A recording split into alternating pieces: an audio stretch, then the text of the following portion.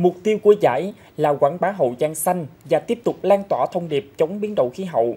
Mỗi vận động viên là một đại sứ của thông điệp, thể hiện tinh thần trách nhiệm với cộng đồng. Phóng viên đài ghi lại nhiều khoảnh khắc ấn tượng, vui tươi, thú vị ở các cự ly chạy. Lần đầu tham gia giải Marathon quốc tế Vietcombank Mekong Delta Hậu Giang 2023 ở cự ly 10 km, vận động viên phong trào Trương Diệt Mỹ đến từ tỉnh Cà Mau chọn trang phục hình trái dưa hấu. Hình ảnh dí dỏm, thân thiện giúp chị chiếm được nhiều tình cảm của các vận động viên tham gia giải. Thông thường thì mình chạy thì mình mặc đồ runner bình thường thì mình đã thấy nó nó quen rồi. Thì năm nay muốn thay đổi có một cái gì đó nó thú vị hơn. Mỗi lần mà chị chạy đi qua thì à, hai bên đường à, cổ động viên á ủng hộ rất là nhiều. Mình mình mình thấy mình có nhiều động lực hơn trên đường chạy. Quá trang giúp vận động viên tạo dấu ấn riêng, góp phần làm nên sự đặc sắc cho giải. Hình ảnh vận động viên Quách Trương Phương ở tỉnh Tây Ninh quá trang thành chung vô diệm, thu hút nhiều sự chú ý. Đây là lần thứ ba anh chọn trang phục này chạy tại Hậu Giang. Sự gần gũi chân tình của người Hậu Giang là điều anh ấn tượng và muốn giới thiệu đến bạn bè gần xa.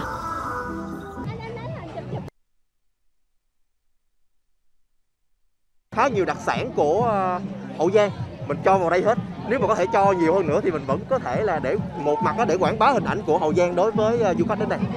Thực sự là Hậu Giang rất là tuyệt vời, mình muốn sẽ muốn trở lại vào mùa thứ tư. Yeah. Giải chạy năm nay còn tạo dấu ấn khi có nhiều vận động viên chọn trang phục truyền thống, thể hiện niềm tự hào và tình yêu đối với đất nước. Anh hai lúa. Hai lúa. Bắt bà khía à? Anh tham gia lần thứ ba, à, đây là lần thứ hai anh chạy ờ, 42 cây. Giải chạy ờ, Hậu Giang thì đường chạy trong đường nông thôn rất là đẹp, bà con cũng thân thiện. Nên anh quyết định anh quay lại anh thử thách cái có lay này. Đúng rồi đúng rồi. Chạy miền tây mà mình phải chơi đúng miền tây mới được. Sau 4 lần tổ chức, giải Marathon quốc tế Vietcombank Mekong Delta Hậu Giang 2023 truyền đi thông điệp bảo vệ môi trường, nâng cao nhận thức, trách nhiệm cộng đồng với vấn đề biến đổi khí hậu, giới thiệu dùng đất và con người Hậu Giang, góp phần để tỉnh khai thác có hiệu quả nhiều tiềm năng về lĩnh vực du lịch mỗi sự quá thân của các vận động viên đều gần gũi, vui nhộn và để lại những khoảnh khắc đáng nhớ. Ở bốn cự ly của giải, ban tổ chức bố trí 58 trạm tiếp nước, sự hỗ trợ nhiệt tình từ các tình nguyện viên và đội y tế để lại nhiều ấn tượng với vận động viên trong mùa giải năm nay. Ba lần tham gia giải ở Hậu Giang, vận động viên Nguyễn Thị Phương Trinh có hai lần là quán quân đường chạy 21 km chọn thi đấu giải marathon quốc tế Vietcombank Mekong Delta Hậu Giang năm nay. Phương Trình mong muốn có cơ hội đến với một trong sáu giải marathon lớn nhất hành tinh. Cảm nhận của Phương Trinh là đường chạy tổ chức chuyên nghiệp. Cách hai cây số có một điểm tiếp nước giúp cho các vận động viên hoàn thành tốt phần thi.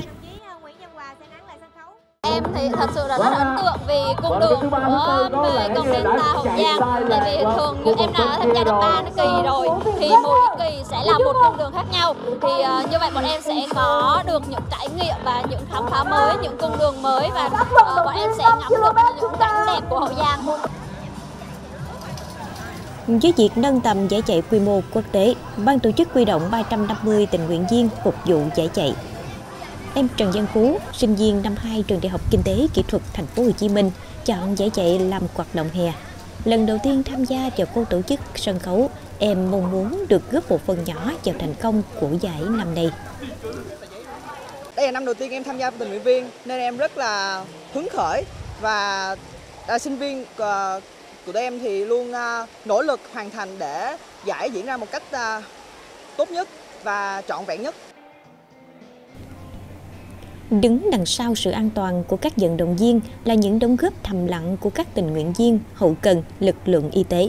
Sau khi về đích, các vận động viên được nhân viên y tế massage, giãn cơ, giúp hồi phục thể lực nhanh nhất. Tham gia cự ly 42 km với vận động viên Hoàng Thị Lành ở tỉnh Kiên Giang là bước đột phá. Lần đầu tiên thử sức cự ly này, chỉ tập luyện hàng ngày hơn 3 tháng nay. Dù có sự chuẩn bị kỹ càng, nhưng chị vẫn bị chuột rút. Nhưng nhờ sự giúp đỡ của cán bộ y tế, chị hồi phục ngay sau đó.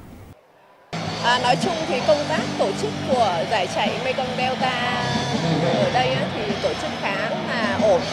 À, từ khâu đón tiếp vận động viên, khâu chăm sóc vận động viên trên đường cũng như là cái khâu chăm sóc sức khỏe cho vận động viên sau giải chạy. Thì như nãy giờ bạn cũng biết ấy, khi mà mình trở về đây mình đi với đôi chân rất là không thoải mái nhưng mà sau khi gặp chị ờ, ở bên cái đội dịch vụ y tế ở đây chăm sóc thì mình bây giờ mình cảm thấy là mình khá là ổn mang đến những trải nghiệm tốt nhất cho các vận động viên khi đến Hậu Giang. Ban tổ chức bố trí 10 khu giải trí gồm trò chơi quay số may mắn, chụp hình lưu niệm, câu lạc bộ thư pháp, trong đó ấn tượng nhất là khu giao lưu văn nghệ. Sau khi hoàn thành cự ly 5 km, em Trần Dương Kim Thảo cất cao giọng hát cổ vũ những vận động viên đang chinh phục đường chạy. Với em, tham gia chạy marathon là cơ hội để chiến thắng bản thân và học được cách chia sẻ. Sau khi chạy á, thì em thấy là khi mà mình chạy thì mình sẽ có được những cái khoảnh khắc vui vẻ với mọi người chung với à, những người mà mình không có quen biết nhưng mà mình có thể kết bạn với lại là sau khi mà mình thấy, thấy là à, mà khi mà mình chạy về rồi thì mình được ca hát thì mình rất là vui thoải mái những hoạt động trong khuôn khổ giải marathon quốc tế Vietcombank Mekong Delta Hậu Giang mang đến những trải nghiệm thú vị mới lạ cho các vận động viên, góp phần quảng bá hình ảnh đất và người Hậu Giang đến du khách gần xa.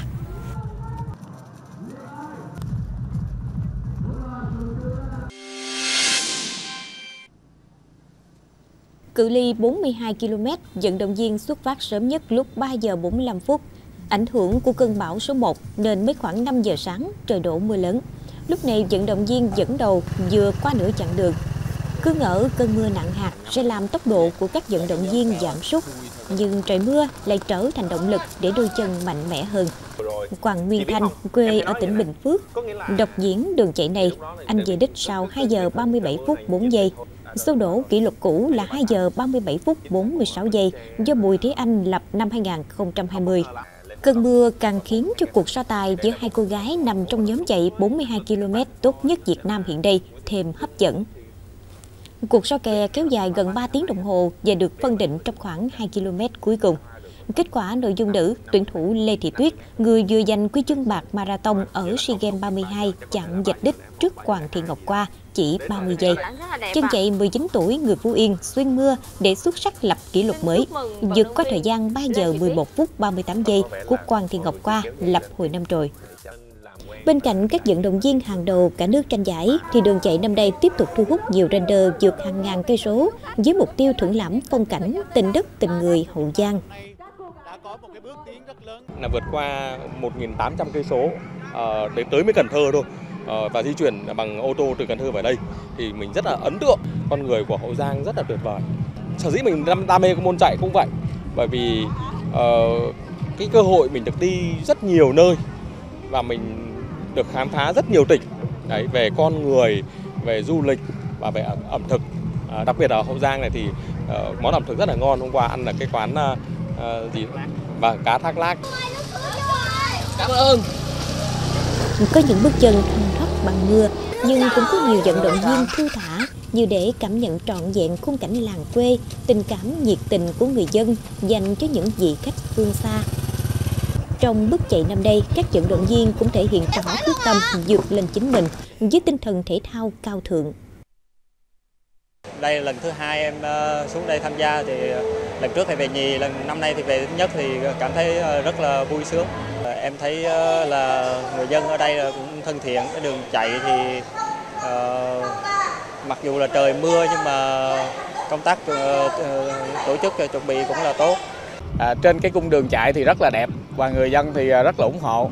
À, và hy vọng rằng à, tỉnh Hậu Giang của chúng ta sẽ tiếp tục duy trì à, những cái sự kiện thể thao này và hy vọng rằng à, chúng ta sẽ phát huy được à, cái thành phố à, xanh và sạch và, và đó là cái thông điệp chung của tỉnh của chúng ta trong thời gian sắp tới. Tinh thần thể thao lan tỏa mạnh mẽ, vận động viên Nguyễn Trọng Lộc, năm nay 86 tuổi, tham gia và hoàn thành đường chạy 5 km. Bước chạy của ông thêm truyền lửa thể thao cho các thế hệ trẻ. Sau khi đài phát thanh truyền hình Hậu Giang đưa tin là năm nay tổ chức thì tôi lên phường tôi đăng ký ngay.